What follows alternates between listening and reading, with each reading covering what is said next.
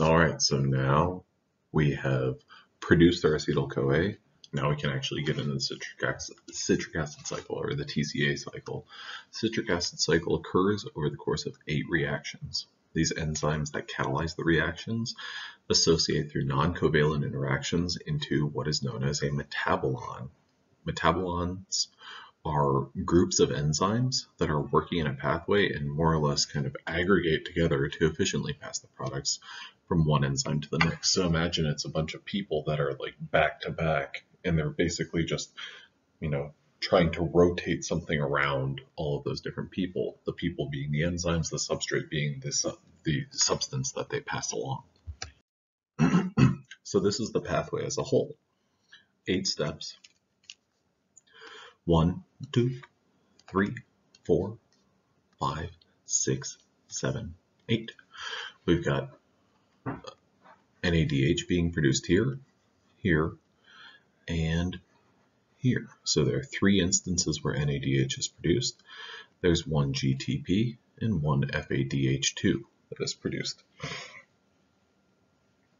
Now, keep in mind, whenever you're doing the citric acid cycle, you could kind of think about it as you've got two molecules of acetyl-CoA coming in because each acetyl-CoA came from a pyruvate molecule. So when it comes to your, your total generation of your products, well, whatever you're looking at, you can basically think of it as two because of the fact that, well, acetyl-CoA came from pyruvate, which came from, or which came in a pair from your glucose. All right, so the first reaction, step number one, is our acetyl-CoA molecule. What we work so hard to put our two carbons onto acetyl-CoA, we immediately get rid of. We use acetyl-CoA plus oxaloacetate and an enzyme known as citrate synthase produces citrate. Okay, this is an aldol con condensation reaction and then after that we have a hydrolysis reaction. Um, this is an irreversible step. That's the that's what I want you to take away from this. Your first step is an irreversible step. So step number two, after we've generated our citrate, well, we are going to do an isomerization. This enzyme is known as a aconitase, and all that it's going to do is basically go through a rearrangement of citrate to isocitrate. So aconitase takes isocitrate or produces isocitrate from citrate. Now, the way that this is going to be done is first through a dehydration and then we're moving this OH group down here and this hydrogen right here, getting those to switch spots. So we're going to remove the water and then we're going to add the water. We're making cis aconitate as an intermediate and we're producing isocitrate as our product. Our third reaction is the first time that we generate any NADH we're taking isocitrate and we're producing alpha-ketoglutarate. We're also releasing a CO2 molecule. So the formation of alpha-ketoglutarate goes through this pathway in which, well, we're going to use an enzyme known as isocitrate dehydrogenase. What isocitrate dehydrogenase is going to do is it's going to help us go through what's known as an oxidative decarboxylation. So we are using, we are releasing or decarboxylating, removing a CO2 molecule. This reaction goes through an intermediate and that intermediate is stabilized by manganese. So isocitrate goes to alpha Kg or alpha ketoglutarate.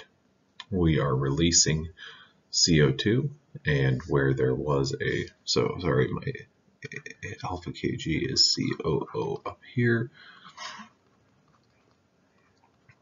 CH2, C, and then what we got there.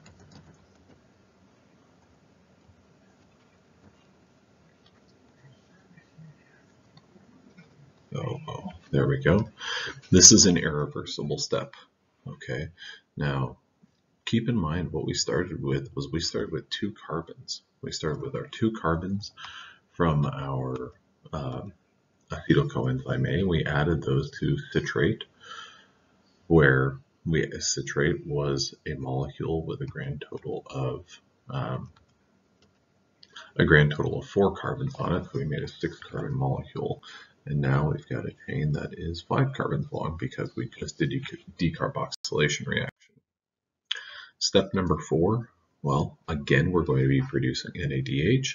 We're also going to be releasing CO2. What I'd like you to notice about this is there are a total of three steps where NADH is produced in the citric acid cycle, and in two of them, there's a decarboxylation reaction. Whenever you see NAD and NADH, as well as decarboxylation, think about that as an oxidative decarboxylation. We just saw that with our um, isocitrate dehydrogenase. Now, this enzyme, alpha ketoglutarate dehydrogenase, we're doing another oxidative decarboxylation. So what that means that we're doing is we are, one, we are removing CO2 right here, and we're also producing NADH. And in the process, we're making a molecule known as succinyl-CoA. Now this coenzyme A is similar to what we used earlier. We used succinyl, or sorry, we had this acetyl coenzyme A, or sorry, this coenzyme A that we um, used previously, and we're, we're seeing that resurface again. This is also metabolically irreversible.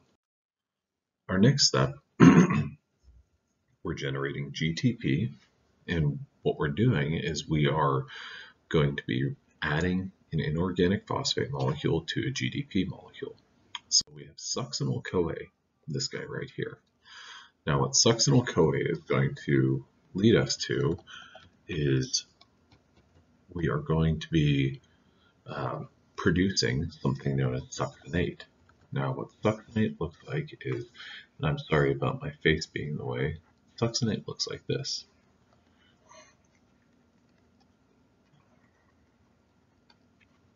Succinate looks like that. This enzyme, succinyl-CoA synthetase, produces GTP and CoASH. Now this is substrate level phosphorylation. We saw that in glycolysis. We saw substrate level glyc uh, sorry, substrate level phosphorylation there. Now this yields GTP, which is readily converted to ATP, and this is a reaction that's at near equilibrium.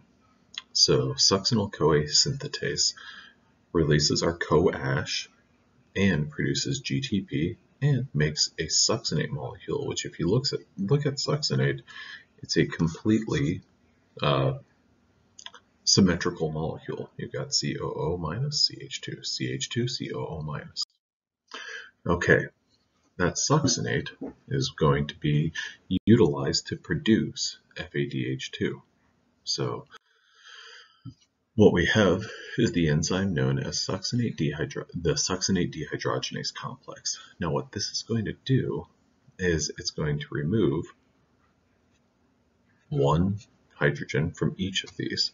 So we're going to make something that is, uh, or we're going to make fumarate, which fumarate is, and I'm sorry again, my head is blocking the way, it's just a carbon-carbon double bond with two carboxylic acids on each end of it.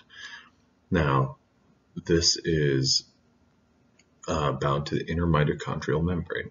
And this is the, yeah, sorry, um, we're generating FADH2, and this is done by the succinate dehydrogenase complex.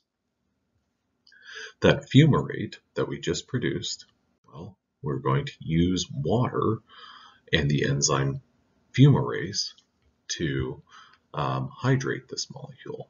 This is a transaddition reaction, in which case what we're going to be doing is we are going to be adding a hydroxide group and then a proton.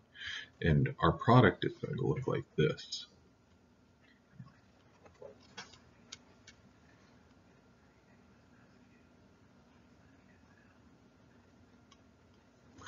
Then C then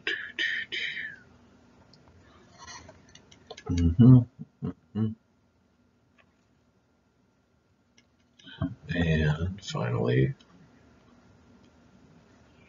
all right. So there is our product, uh, malate. Now that malate is going to get us back to where we needed to basically continue on with our cycle. That malate is going to produce NADH in the process of going towards oxaloacetate. Which oxaloacetate we saw previously when we were talking about um,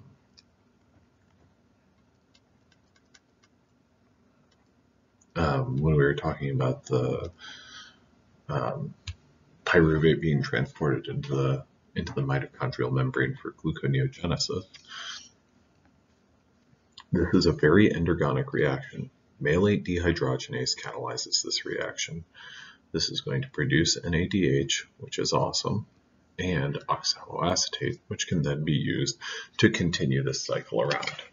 Okay, so one of the takeaways for this whole pathway is we generated a ton of stuff. We generated NADH, FADH2,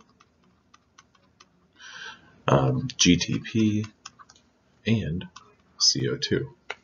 And it's also important to keep in mind that we're doing this from each of our pyruvate molecules. If you take it back prior to the, um, if you take it back to before the coenzyme A, um, there's there's a lot of NADH, FADH2, GTP that we're generating by going through the citric acid cycle.